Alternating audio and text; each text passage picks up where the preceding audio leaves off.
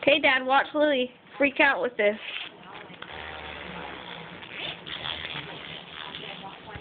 Get it loose.